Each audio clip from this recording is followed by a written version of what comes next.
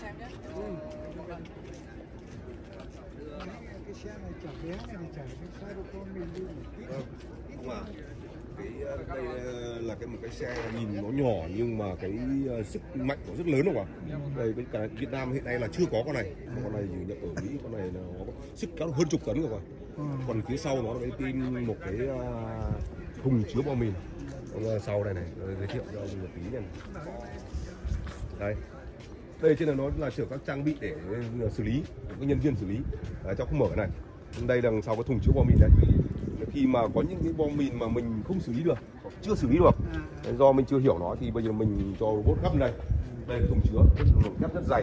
Có cơ cấu cơ một cấu tạo rất đặc biệt. Nếu như trong quá trình vận chuyển ra nơi an toàn dưới hết khu đông dân cư mà nhỡ may nó có nổ thì không gây nó an toàn không vấn đề gì có thể 5 cân thuốc nổ vẫn vô tư. Đấy cho nên là đây, là, đây là cái thùng chứa này. Mình nhập. Mình nhờ mình nhờ bởi vì nó có công nghệ nó rất là hiện đại.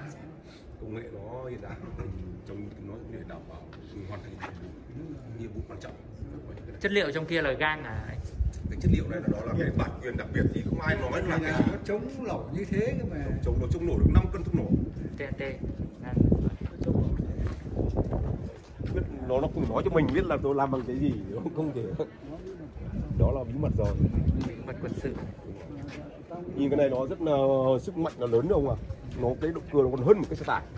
Sức kéo nó rất là mạnh. Ờ, công suất con này là bao nhiêu anh 6.7 385 mã lực. Kinh mà trong đấy ngang với 250. ngang với ờ, xe xe tải rồi. Nó hơn con xe tải hơn con xe tải. kia hơn con xe bên kia đỏ nhìn to sát con xe đỏ to sát không có bằng Ok.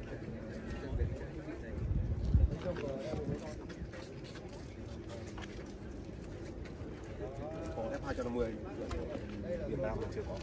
Không có đâu nhỉ có ép đúng rồi Việt Nam mình mới F150 cái này. Con này mình ờ, chế vào hay là nhập cái chiếc này anh? Nhập kinh nhiều tiền đúng không anh? Tiền tiền gì chỉ biết là mình được mình sử dụng khai thác sử dụng nó kinh nhá. Thần cơ này thì bây giờ nó có giá rồi. Hai năm mươi Thần cơ này nó có giá rồi.